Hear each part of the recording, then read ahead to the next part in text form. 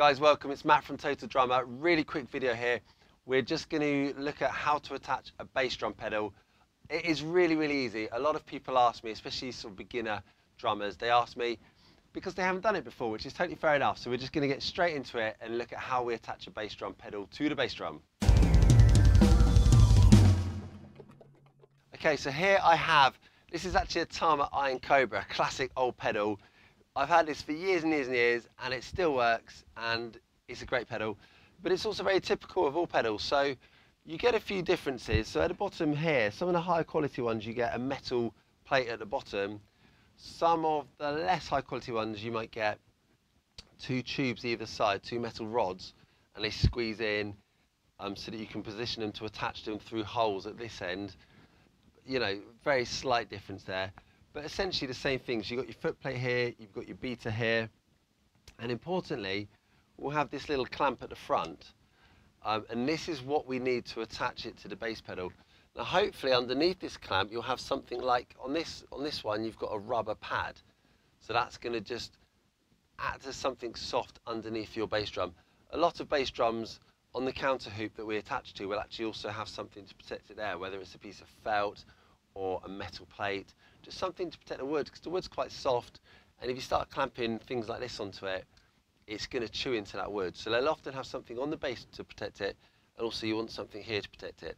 So just looking at the basic mechanism here, so you've got that soft foot plate and the, and the counter hoop sits onto that and then over the top you've got this metal clamp that we screw down and that just clamps on, doesn't, it, doesn't go like that but it clamps down onto your counter hoop and keeps it in place. And you're going to have a wing nut here to tighten it. So this one is conveniently placed off center so I can get to it easily. Quite often they'll be placed in underneath the, the foot plate, which is a bit more awkward. It's an easier design for them because it's just a straight piece of metal then with the clamp at this end and the, and the wing nut at that end. But it's harder to get to for you, especially if you need to do it mid-gig and you're like bending down off your drum stool. So this one's slightly off center, some will come out the edge, some will need a drum key to tighten it. So if you don't have a wing nut, you've just got like a tension rod from a drum, just means you need a drum key to tighten it. Um, this one actually has a drum key handily on it, but it doesn't need it for that. But so if you don't have a wing nut, check out uh, maybe you need a drum key, okay? So that's the basic design. So let's take this to the bass drum. Um, because what we're essentially going to have to do is put the bass drum in between that clamp. So let's go to the bass drum now.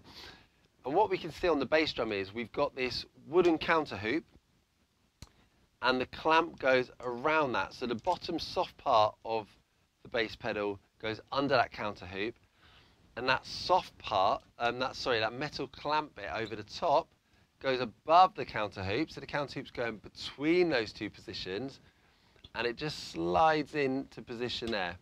And then we do it up, not too tightly, you know, tight enough so it's not going to move, it's not going to go sideways or come away from the bass drum, but you also don't want to crush your counter hoop.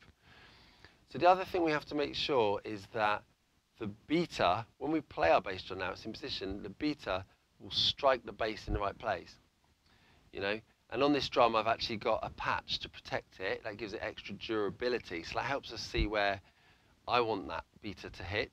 Um, but you just want it to basically hit in the middle of the drum if it's not um, if it's not hitting the right place, then you just need to to tighten it. Um, to, well, you need to loosen it with a drum key here, raise or lower the beater, the rod of the beater, and retighten it in position so it is hitting the middle of the drum. Once you've done that, you have attached a bass drum pedal, nice and easy, and you're ready to go. All right, guys, I hope that helped you. If you weren't sure how to attach a bass pedal, now you are. There's loads of other videos here just to help you set up. So how to set up your snare drum at the right height and angle, how to set up the hi-hat, and there's a how to tune the drums course, which goes deep into how to tune all of the drums, um, snare, bass, toms, how to get them sounding good as one instrument, so like you really understand the tuning. Also looks into various products you need or that you could buy to help your tuning. Everything you need. Links to all of that are under the video. There's also a beginner's drum course, so there's a link to that under the video as well. But for now, Hit subscribe if you enjoyed this video. There's loads more coming and I'll see you on the next lesson.